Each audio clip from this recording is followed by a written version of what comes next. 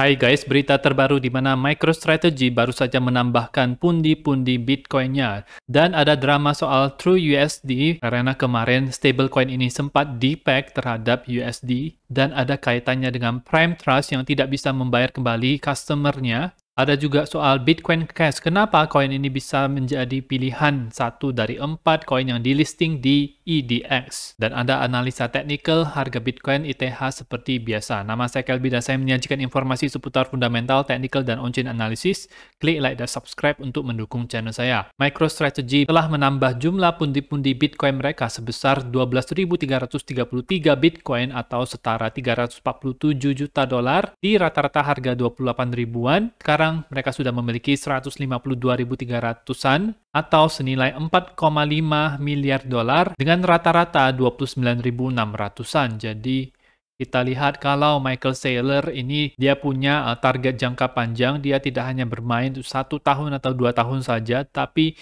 ini untuk satu dekade dan untuk seterusnya juga. Jadi dia akan tetap akan terus mengakumulasi Bitcoin dan dia cenderung untuk melakukan hold terus pada Bitcoin-nya, yang mana ini merupakan hal yang baik karena akan mengurangi selling pressure dan saya yakin juga pasti banyak institusi keuangan yang lain itu mulai mengakumulasi Bitcoin tetapi mereka tidak mempublikasikannya saja. Mereka mungkin akan mempublikasikannya, tetapi nanti setelah mereka sudah melakukan pembelian tersebut dari jauh-jauh hari. Ada satu hal yang menarik di mana apakah MicroStrategy itu pernah menjual holding Bitcoin-nya? Rupanya pernah, di kuarter 4 2022 di mana harga itu cenderung berada di bawah, mereka menjual sebesar 704 Bitcoin di mana harga saat ini itu sekitar 15.500-an. Ini sangat rendah sekali. Mungkin karena adanya fear Bitcoin di mana Bitcoin bisa ke bawah daripada harga 10.000, jadi mereka menjual sebesar ini. Tapi ini hanya terjadi sekali saja,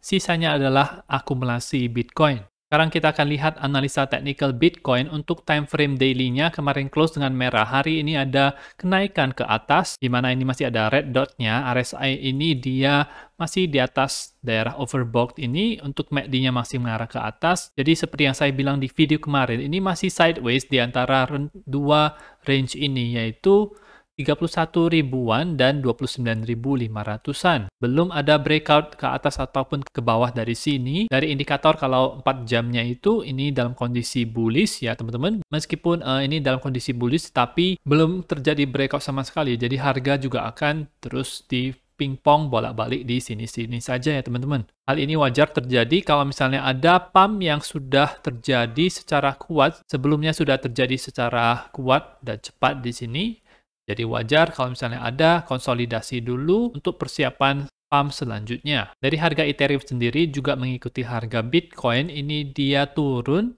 lebih turun lebih dalam dibandingkan dengan Bitcoin, dan ada tiga candle 4 jam berturut-turut dalam posisi hijau seperti ini bagus. Uh, dari indikator mulai bullish tetapi belum sepenuhnya bullish. Sempat ke bawah daripada harga 1830-an ini tapi bisa berhasil balik ke dalam range ini. Kita harus melihat apakah dia mampu menembus daerah ini atau tidak. Tanda agar tidak terjadi sell off dari sini. Atau kalau misalnya dia turun maka dia harus bertahan di atas garis ini ya teman-teman 1830-an ini dari analisa orang lain, menurut Trend Rider, ini ETH Bitcoin sedang berada di support trend ya, dan ada kemungkinan bounce yang bisa terjadi, sinyalnya itu muncul di sini, ini akan cukup menarik untuk altcoin di beberapa minggu ke depannya. Kalau misalnya support ini berhasil menopang harga ETH Bitcoin. Kita lihat kalau ini adalah time frame weekly-nya. Jadi garis tersebut itu muncul di sini di sekitar 0,0608 atau 09. Secara garis support dan resistance itu sebenarnya tidak ada. Adanya itu adalah Fibonacci 61,8 tetapi ada lewat sedikit jadi ini lewat dari 61,8 tapi memang kadang-kadang itu dia bisa bounce dari antara 61,8 dan 78,6. Dari sinyal indikator ini bisa tetap bertahan probable bounce-nya itu sampai tutup minggu ini maka ini akan bagus sekali untuk minggu depan teman-teman. Dari kondisi sekarang sih masih bearish untuk seluruh indikatornya. Untuk di time frame daily-nya ini memang ada bullish divergence yang terbentuk, ada green dot juga, MACD juga perlahan-lahan naik ke atas jadi mungkin kita kalau misalnya ini sudah terconfirm, maka akan ada kenaikan ke atas secara jangka pendek. Tapi untuk jangka panjangnya kita harus lihat di time frame weekly-nya apakah akan muncul sinyal ini atau tidak. Kelihatan di Real Bitcoin Dominance Index masih dalam posisi naik ke atas 70,33%.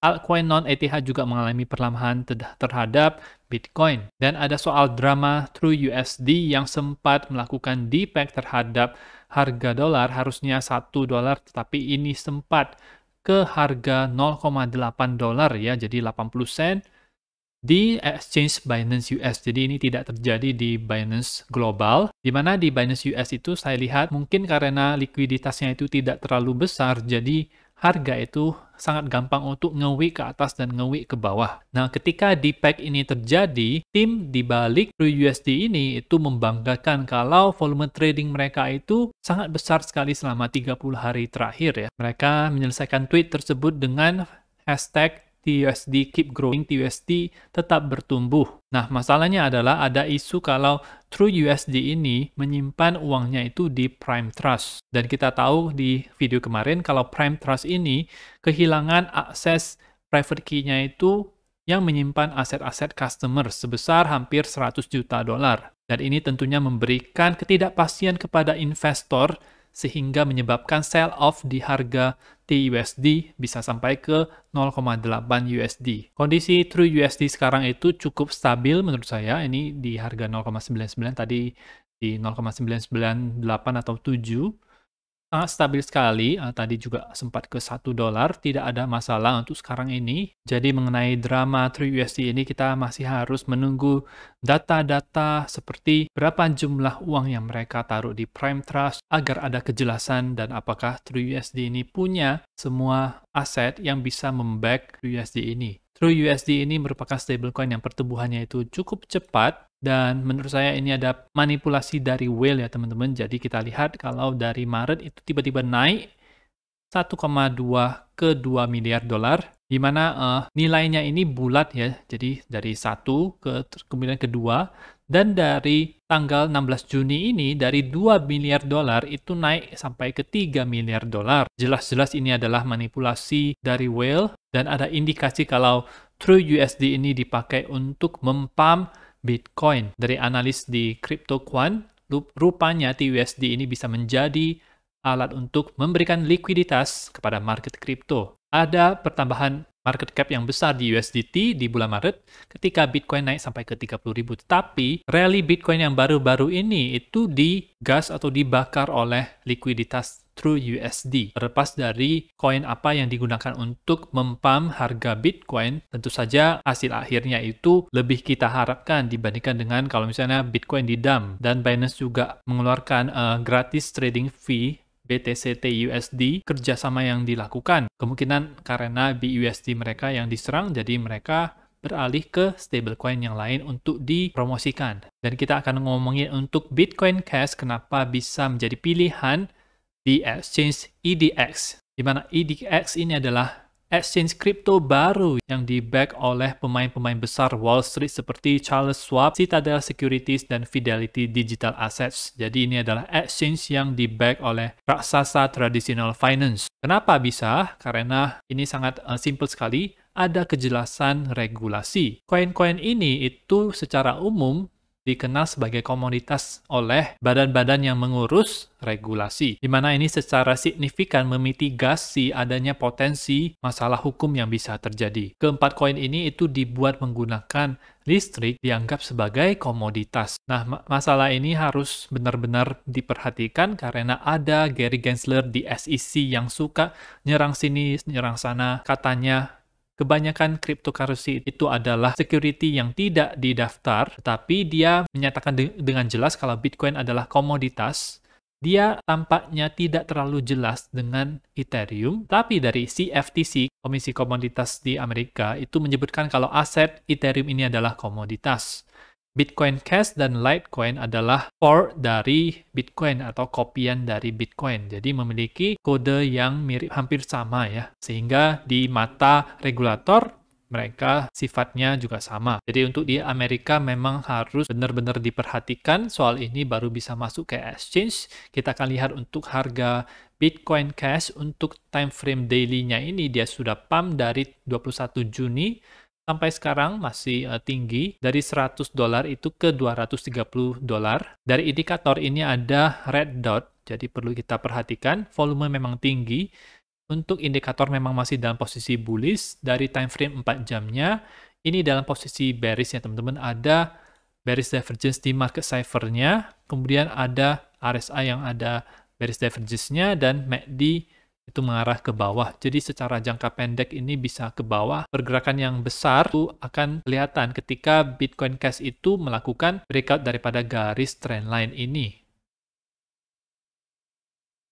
Jadi garis ini harus dipertahankan oleh Bitcoin Cash yaitu di 225 dolar agar tidak jatuh ke harga yang lebih rendah. Dan menurut saya ada support yang cukup kuat untuk Bitcoin Cash, yaitu di sekitar 195. Ini pas dengan uh, Fibonacci 38,2, ada potensi untuk terjadi uh, bounce dari situ. Kalau misalnya Bitcoin Cash gagal untuk bertahan di atas garis biru ini. Invalidasi ini itu terjadi kalau misalnya Bitcoin Cash berhasil close di atas 244 dan membuat higher high ya teman-teman. Dan terakhir kita akan melihat mengenai koin CFX, koin China ada market maker DWF Labs itu mengumumkan kalau mereka baru saja membeli 18 juta dolar token CFX dari ofisialnya Conflux. Conflux itu berencana menggunakan uang yang mereka dapatkan itu untuk mengekspansi pertumbuhan ekosistem mereka di Asia dan Hong Kong ya. Salah satu aksi yang dilakukan oleh Whale ini namanya DWF Labs DWF Labs ini adalah Global Digital Asset Market Maker dan perusahaan investasi Web3 yang berdomisili di Swiss, Uni Emirat Arab, Singapura, Hong Kong, BVI, dan Korea Selatan. Dan menurut saya koin CFX ini masih ada potensi untuk pump ke atas untuk ke depannya ya teman-teman boleh dimasukkan ke dalam watchlist. Nah, itu saja untuk informasi pada video kali ini. Semoga bermanfaat. Teman-teman bisa dukung channel saya dengan mengklik like dan subscribe dan nantikan video saya selanjutnya.